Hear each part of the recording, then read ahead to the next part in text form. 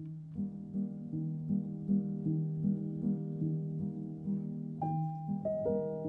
Vamos a hablar un poquito de los cambios que se producen en los años 60 eh, y 70, en los que hay una nueva generación de, jóvenes que no han vivido el trauma de la guerra y no tanto el de la posguerra. Esto marca una actitud diferente, es una actitud mucho más optimista, mucho más hedonista eh, y además una voluntad de distanciarse mm, a propósito de la generación de sus padres, ¿no? una, cierta actitud contestataria y una búsqueda de, mayores libertades. Esto se va a ver claramente en las formas. ¿no? Las formas eh, de la moda, pero también de las artes y de la cultura popular. Y de hecho, esta moda que está muy influenciada por la cultura juvenil eh, bebe mucho del rock, bebe mucho del arte pop, etcétera, y lo vamos a ver pues, en el tipo de colores que se utilizan. Son colores mucho más subidos, en estampados mucho más imaginativos, eh, en, texturas también mucho más sensuales. además, lo, significativos que, que lo son para ellos y para ellas. Eh, igual que ellas llevan el pelo largo, pero ellos también, eh, estamos viendo cómo eh, el modelo de, género, en este caso, empieza a ser bastante más fluido. En el caso del mundo de lo femenino, es un momento especialmente activo porque se ha reactivado el, movimiento feminista, que en este caso ahora no está reivindicando únicamente recuperar el espacio público o ganar el espacio público, sino que está haciendo muchas críticas en relación con el, espacio de lo privado, ¿no? las relaciones familiares, eh, la relación con el propio cuerpo, pues se reivindica el derecho al aborto, se reivindica el divorcio, se lucha contra los eh, delitos específicos de la mujer como el adulterio. Esto va a afectar mucho a la relación con, el cuerpo ¿no? y con la sexualidad femenina que también se está reivindicando ahora. Es muy significativo para esto, por ejemplo, eh, la moda de la minifalda, que es una ruptura en este momento, heredera de alguna forma de la ruptura que ya se produce en los años 20, donde ya se empiezan a enseñar las piernas, pero ahora de manera mucho más marcada y además estas minifaldas eh, se van a llevar eh, con, con, panties, no con medias, con zapato plano, lo cual eh, permite un movimiento mucho más ágil y una actitud pues, mucho más relajada respecto del propio cuerpo que va a definir pues, a la mujer joven que es el, el, modelo de, de, este momento. Esta liberación de la forma femenina, por un lado, va a ser vista en un momento como una liberación, puesto que hace que, que las mujeres no estén con constreñidas a esta modestia obligatoria a la, que se, les había ligado tradicionalmente, eh, pero sin embargo pronto va a haber eh, una nueva reflexión, una nueva perspectiva sobre eh, qué significa esta, esta mm, forma de mostrar el cuerpo femenino públicamente,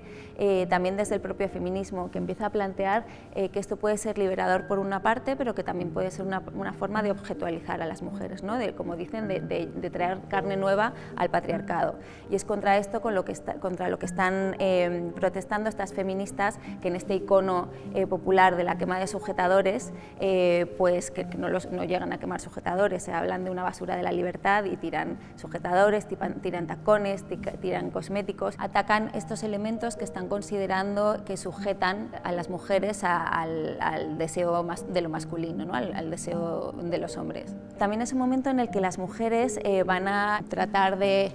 llegar a muchos más ámbitos profesionales y a muchos más espacios y esto va a favorecer la influencia del armario masculino en la, en la moda femenina. Vamos a ver, por ejemplo, eh, cómo ya de manera muy definitiva se impone el uso del pantalón, que en los años, en las décadas precedentes había estado más contestado, ahora se acepta definitivamente gracias a eh, pues determinados iconos más, más jóvenes ya desde finales de los 50 como Audrey Hepburn, pero quien le da carta de naturaleza va a ser Yves Saint Laurent, que lo incorpora a la alta costura eh, y estamos viendo pues cómo llevan, ellas llevan pantalones pero también llevan pues prendas de arriba más anchas, llevan mocasines, eh, llevan elementos que de alguna manera les permiten presentarse en estos nuevos espacios laborales como uno de los chicos. Esta es una, estrategia eh, que se ha analizado desde el punto de vista del feminismo eh, pues, bueno, pues como una manera de identificarse con el único eh, ser humano ¿no? pues que en este momento era,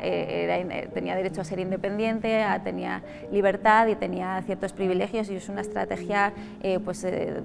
totalmente lógica, pero por otro lado también se critica desde, desde otra vertiente del feminismo, desde el feminismo en la diferencia, porque lo que consideran es que eh, imitar el modelo masculino lo que está haciendo es eh, reforzarlo, ¿no? reforzar su autoridad. Y entonces hay otras vertientes que lo que están planteando es que no se copie a los hombres, sino que se valoren determinados aspectos que se habían relacionado con la cultura de lo femenino y que se consideran positivos, como puedan ser pues, lo emotivo, lo simbólico, lo expresivo, la colaboración. Y es este nuevo modelo respecto de lo femenino lo que van a incorporar también algunos diseñadores ya de finales de los 70, principios de los 80. Podemos pensar, por ejemplo, en, Sonia Riquiel y en su uso del punto, eh, motivado, eh, entre otras cosas, por un aspecto de su biografía, no, no encontraba ropa que ponerse que, que le resultase cómoda y favorecedora durante su embarazo. Entonces se dedica a adaptar el jersey a prendas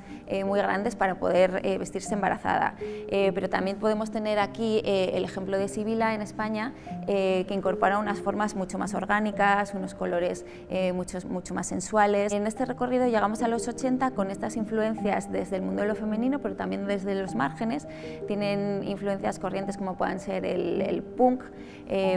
pues si pensamos por ejemplo en la, en la, moda que propone Vivienne Westwood y que, y que lleva, va a llevar al, al mainstream pues, Sandra Rhodes o, o incluso Madonna, eh, estamos viendo cómo en este momento están conviviendo eh, tendencias muy rupturistas y al mismo tiempo eh, actitudes, por otro lado, muy conservadoras. Este sería el caso, por ejemplo, del auge del, traje de chaqueta ligado a la imagen de hombre y también mujer de, negocios, porque en este momento al mundo de las finanzas, de la banca, etcétera, también se están incorporando muchas mujeres que empiezan a llevar estos trajes de chaqueta masculinos. Sin embargo, en relación con este power suit, que se conoce así, ¿no? el, traje que simboliza el poder eh, femenino, eh, se desarrolla una serie de discursos orientados especialmente a las mujeres que nos muestran los equilibrios que tienen que hacer estas mujeres para ser aceptadas en nuestros nuevos entornos laborales a los que acceden. ¿no? Pues, por ejemplo, eh, se, les dice que, que con el traje de chaqueta deben llevar falda,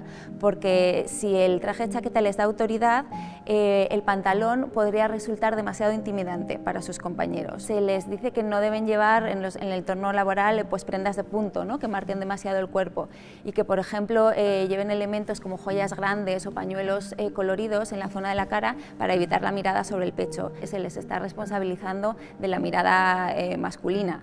Eh, y, bueno, pues esta, eh, es la situación eh, que vemos, por ejemplo, en una película icónica de la época como es Armas de Mujer, en la que vemos a Melanie Griffith pues intentar introducirse en este entorno muy masculino de los negocios, componiendo su personalidad a través de, la indumentaria ¿no? y de este juego entre lo masculino y lo femenino, bueno, pues para llegar a este poder que, el vestido, el power suit, eh, le puede proporcionar.